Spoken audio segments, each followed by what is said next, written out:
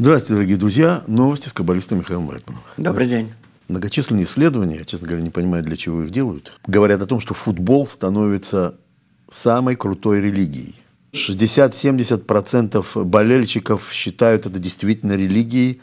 Профессиональный футбол, чтобы только войти туда в болельщики, ты должен знать песни, ты должен знать, как стоять, как, как, как двигаться, как реагировать. Для тебя вот пишут, поле становится духовным домом. Испытываются экстраординарные эмоции, которых ты не испытываешь никогда. Еще что они говорят? Они говорят, что здесь миллионер обнимается с тем, у кого пособие. Здесь мы становимся равными на этом поле. Ну, они не продолжают, что они против кого-то, там еще, там еще другие болельщики существуют, но в принципе вот это становится главной религией.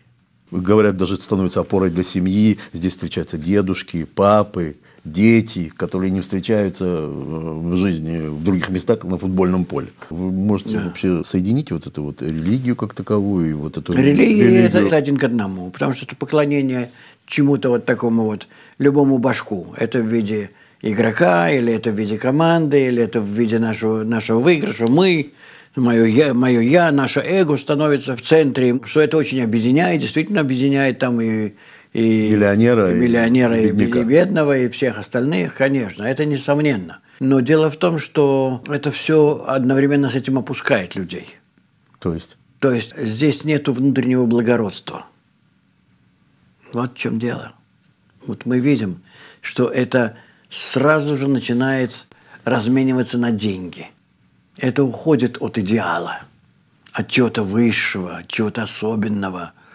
Это сразу же я куплю, а ты продай и так далее. Тот-то, лизаторы всякие, То есть те же болельщики... наркотики, все, что хочешь, подкуп и все прочее.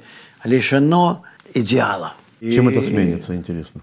Это сменится пустотой. Что придет за пустотой? За пустотой придет вопрос о смысле жизни. Потому что и футбол нас не наполняет, все заканчивается. Что может быть неизменным, несменным? Да. Наш эгоизм растет, он потребует от нас вот такого кумира. Несменного? Да. Что это будет? То, что выше нашей жизни. Что это?